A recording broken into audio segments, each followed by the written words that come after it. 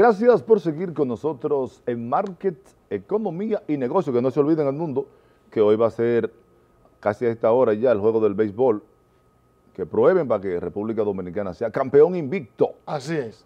El análisis de nuestro experto en comercio internacional, el doctor Dionisio Ditren. Hola, muy buenas tardes de su sección Comercio Internacional. Hoy vamos a hablar de una persona, de un personaje que está dando de qué hablar en el mundo de las bolsas de valores de Wall Street en Estados Unidos, en Nueva York. Eh, vamos a hablar de este personaje que es Elliot Moss, lo que ha, eh, lo que ha hecho. Él, primero, como primera noticia, se ha convertido, según la revista Forbes, en el hombre más rico del mundo, detronando a Jeff Bezos de Amazon eh, ya hemos hablado de, de, este personaje. Eh, que por cierto, yo el beso de Amazon ya a partir de, de esta semana deja de ser el CEO de, de Amazon y da paso a una nueva generación, como él dice. Elliot Musk, sí, este hombre visionario, este hombre de un talante, si ustedes buscan su bibliografía, su biografía, perdón, y buscan todo lo que es este hombre, un hombre de carácter fuerte, pero un hombre empecinado. Es tan empecinado que él es el desarrollador de estos carros autónomos, eléctricos autónomos, llamados Tesla. ¿Qué es lo que, ¿Cuál es la visión de él? Que él no solamente está ya en el futuro, que no es el futuro, que es el presente. La Unión Europea va a suspender la producción de los carros de combustión en el 2025. Sin embargo, este hombre va un paso más adelante y él quiere desarrollar los carros que sean autónomos, que se manejen por sí solos. Que tú solamente tengas que subirte, darle un mandato al carro y él te llevará. Ya hemos visto que se están probando los carros eléctricos voladores ya en, en Corea, en Corea del Sur. Este hombre, este hombre, el de Tesla, y también este hombre que quiere conquistar el espacio este hombre que está mandando estas misiones al espacio, que quiere enviar turistas al espacio a través de este proyecto que se llama el Space 10.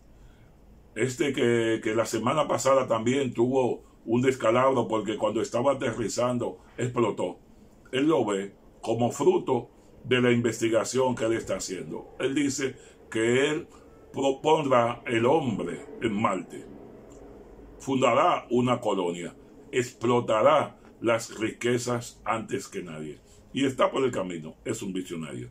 Pero hoy no vengo a hablarle de eso. Este hombre que está metido en estos proyectos tan interesantes de innovación y de construcción, ha sorprendido al mundo porque ha empezado a invertir en monedas electrónicas. Acuérdense que les refiero, hace dos semanas hicimos un programa especial con un economista especialista en estos temas, Javier. Eh, eh les remito a que lo vean. Este hombre solamente, oigan señores, cómo se mueve el dinero en las bolsas. Este hombre solamente por poner en su Twitter el hashtag Bitcoin, diciendo que está apoyando el Bitcoin y diciendo que el Bitcoin va a ser esta moneda de curso legal, que muchas personas se van a, adherir a ella, que van a empezar a hacer transacciones con Bitcoin. Él fue el primero. Solamente con poner esto, se dispararon a 34 mil. O sea, se disparó de 33 a 34 mil dólares por acciones, solamente porque este hombre pusiera en su Twitter eso le generó, generó unas ganancias del Bitcoin que las proyecciones, señores, las proyecciones son llegar a 40 mil a, finales de este mes de febrero. Una barbaridad de la moneda electrónica. Tiene en jaque mate a las economías grandes que no saben qué hacer.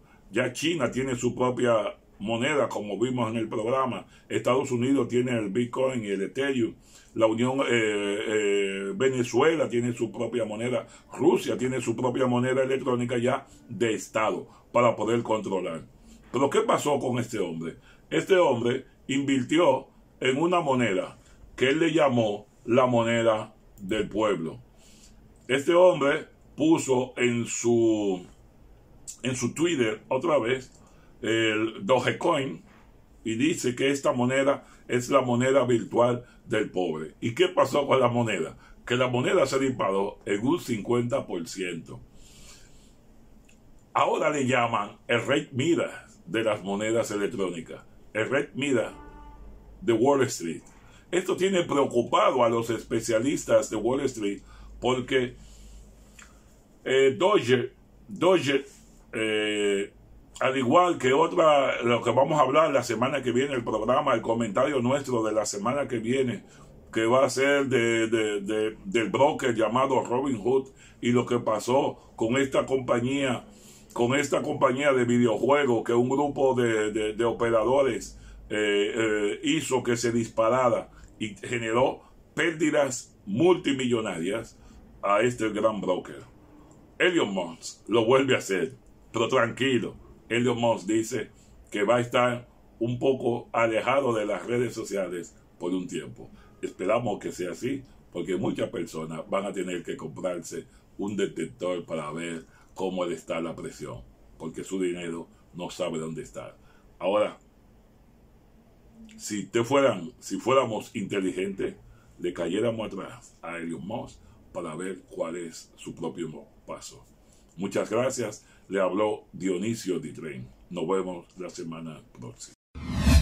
Gracias, don Dionisio Ditren, como siempre, orientándonos en todo lo que tiene que ver con el comercio internacional. El ministro de Economía, Planificación y Desarrollo, Miguel Seara Hatton, dijo que aunque crea que la ley 2801 haya que mantenerla, en términos generales, los incentivos deben ser revisados uno a uno, sector por sector, ya que estos deben ser asociados a resultados. Precisó que nunca en el presente gobierno se discutió la posibilidad de desmontar los incentivos de la ley 2801. Nosotros desde que llegamos al poder dijimos que esta ley hay que protegerla y aumentarle la efectividad, garantía de que realmente se mejore la zona y tiene que haber mecanismos de evaluación de análisis socioeconómico que permita medir, porque todo esto se mide, precisó el ministro. A propósito de la ley 28-01, vamos a ver la opinión del economista Henry Hebrard. Si bien es cierto, los resultados de la ley 28-01 de desarrollo eh, de las provincias fronterizas eh, que no han tenido quizás los resultados que se esperaba, es importante reconocer la, eh, que es indispensable que no solamente se mantenga, sino que se profundice el tema de los incentivos, ya que sin esos incentivos es imposible promover la instalación de empresas privadas en estas fronteras por las características mismas de, de ellas en cuanto a poca población, pocas condiciones, pocos niveles de eh, desarrollo. Eh, ahora, eh, me preocupa ver cómo dentro de este debate se han invitado muchos intereses que precisamente no son necesariamente el mejor interés para las provincias fronterizas.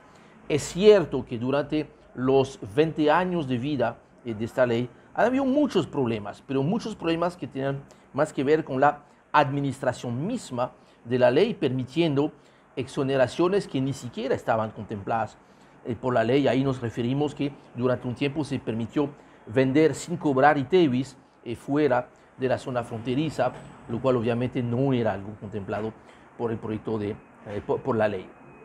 Ahora, hemos visto este debate, esos enfrentamientos entre básicamente la Cámara de Diputados, el Senado con dos visiones diferentes, inclusive contradicciones sobre lo que finalmente eh, han planteado modificar los mismos diputados. Yo creo que es importante que vuelva la calma y la discusión y que se aproveche entonces para mejorar y perfeccionar este instrumento. Es importante recordar que los incentivos para que sean buenos y positivos para la economía eh, tienen que llevar cuatro características los incentivos tienen que ser claramente focalizados, tienen que ser condicionados a la obtención de resultados, tienen que ser limitados en el tiempo y finalmente tienen que ser perfectamente administrados.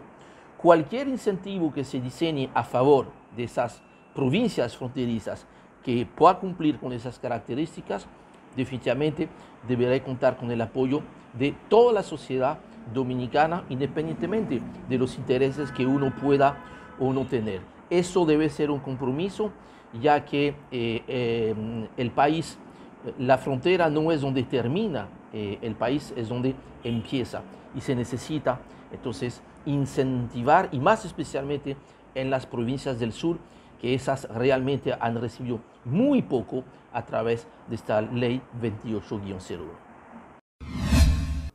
Gracias, don Henry Gebral. Como siempre, el presidente de la República, Luis Abinader, dispuso suprimir bonos para empleados públicos por un monto cercano a los 670 millones de pesos con el fin de mitigar la crisis sanitaria generada a raíz de la pandemia del COVID-19, la cual, según dijo, afecta los ingresos del Estado y el presupuesto público.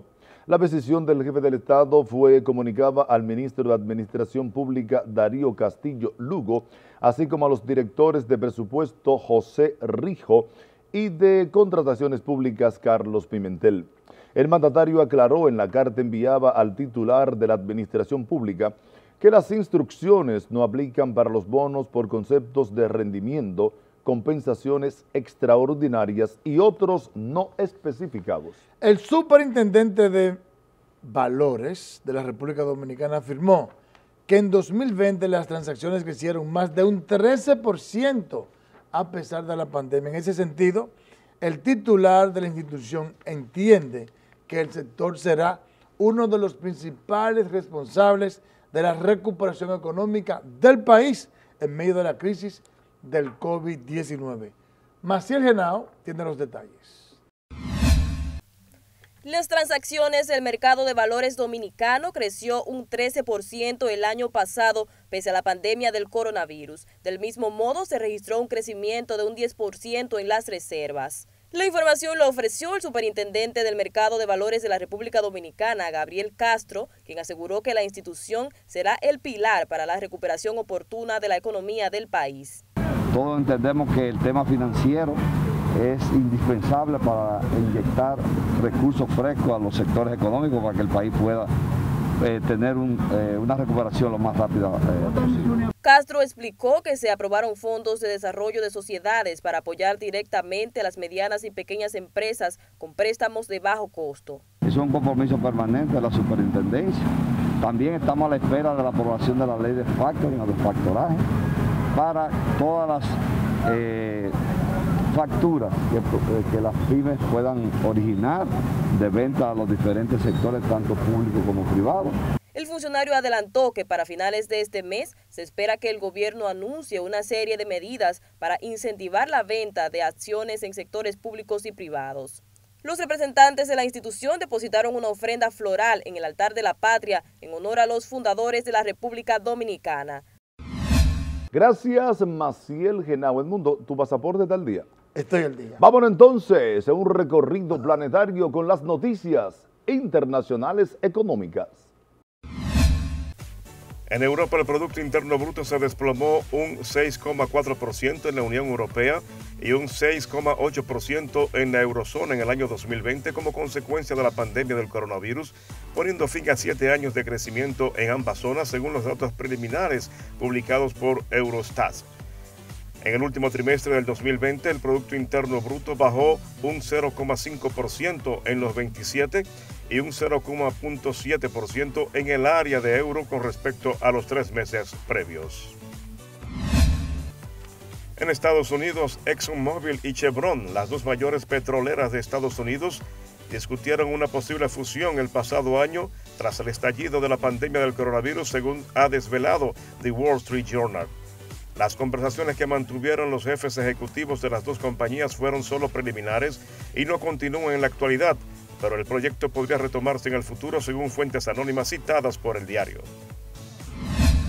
También en Estados Unidos, PepsiCo, la Fundación PepsiCo y el Banco Interamericano de Desarrollo y su laboratorio para la innovación BitLab firmaron ayer un acuerdo memorándum de entendimiento con el que amplían su alianza público-privada hasta el año 2026 para llevar a cabo programas que impulsen el crecimiento social y económico en América Latina y el Caribe y con esta firma se contemplarían 19 años de trabajos conjuntos.